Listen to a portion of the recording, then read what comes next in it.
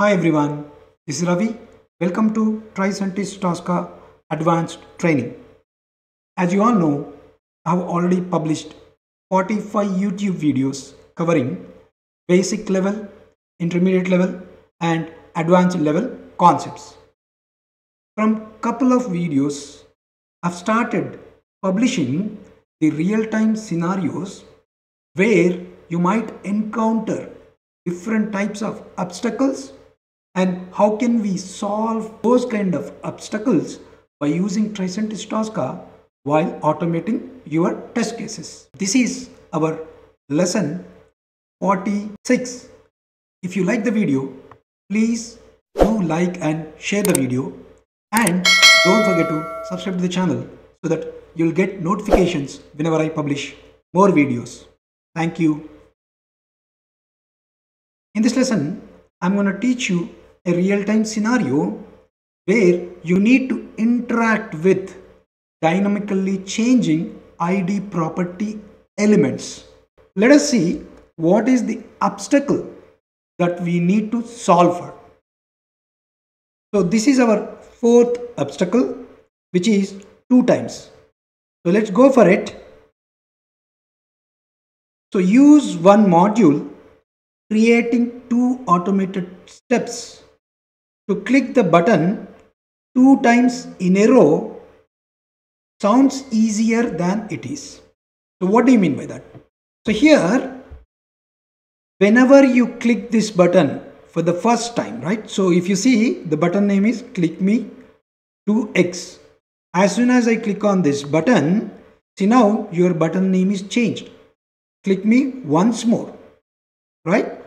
So once I click one more time, that means your automation job is solved or your challenge is solved. So let's try this again. Okay. So you have a button. Once you click on this button, it changes the name of your button. So that's why the name of the button and property of the button gets changed for the second time. So you need to click this button another time. Then you solve this automation problem. Right? For that, let's go back to Tricentis Tosca and as usual, let's scan the application by using the folder obstacle. Right click on this folder, scan, click on application.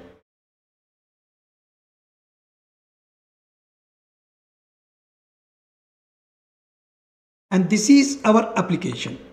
Select the application, click on scan.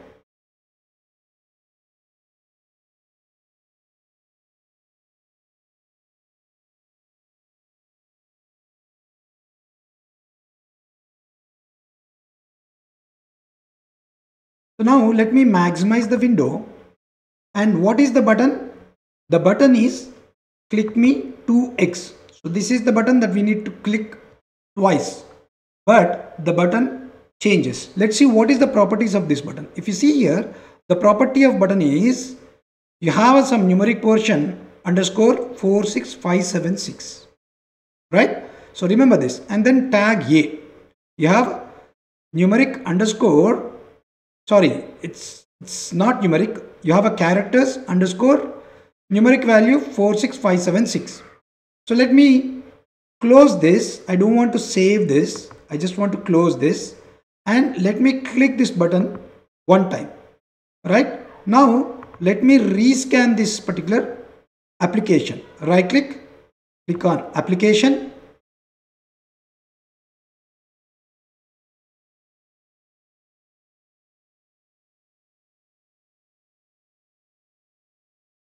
and select the application, click on scan.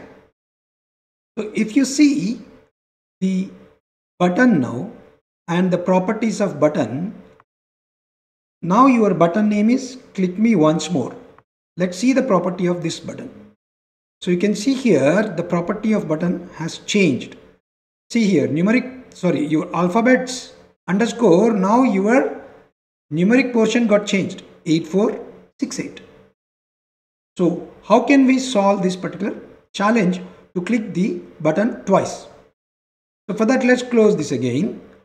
So let me just click on this and then let's try this again. Okay? So now let us go back to our Tricentis Tosca and now let me scan the application. I would like to capture the object at initial stage itself. Before you click the button for the first time right? Click on scan. And here let's select the button click me 2x as I told you the button has an ID and this ID gets changed to the another numeric portion here after underscore so that's why I cannot keep this as is instead remove that changing portion of your property and replace with trick, which is a regular expression.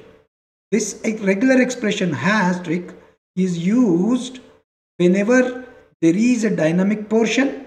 This can handle rmd underscore after that after underscore you can have any alphabet or numeric portion it doesn't matter. It recognizes the object even though you have any number or any character after underscore. So I would like to replace that static value with a regular expression asterisk and click on OK. Done. Now let's rename this module with the name of your obstacle. This is my obstacle name copy this and rename this so it's a best practice to rename the module so that it makes a logical sense okay so now let's save the module close your xscan so let's go back to Tricentis Tosca now you can see this is my new module that I have scanned. Click me 2x. So let me create a new test case now under obstacle folder. Right click, create a test case. Name this as your obstacle name. Double click on this. Now let me drag and drop the new module that we scanned. Drag and drop here. So here for the first time you need to click on click me 2x right? For that pass this x. Now again I want to click on this same button right? But the button property gets changed drag this same module and drop into the same test case one more time. And here I would like to rename this as click button once more. And this step is click button for first time. Right? So here again for the second time pass x so now this is done.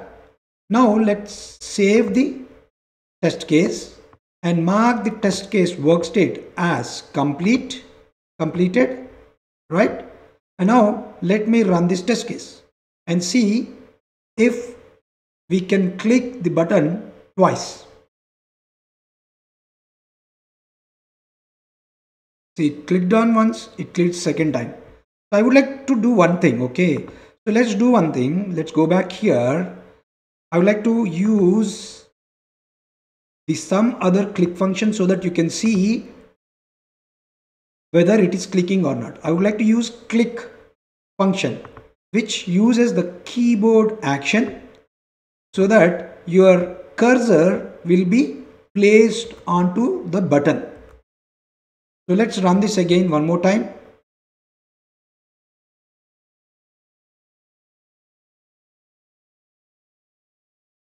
See your cursor moved to the button and it clicked one more time. So that means now you solve this automation problem.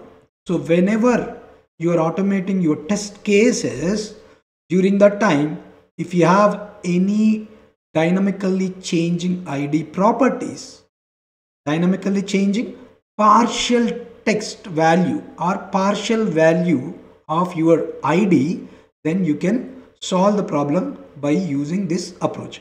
This is medium level obstacle, but going forward, we'll moving to hard categorization of obstacles. So if you have any queries, leave your queries in the comment box. I'll try to respond to your queries. Hope you all understand how can we solve an obstacle while automating your test cases where you have to interact with the elements for which the element properties are dynamically changing. Please do subscribe to the channel. Click on bell icon. You will receive notifications whenever I publish more videos. Please do like and share the video. Thank you.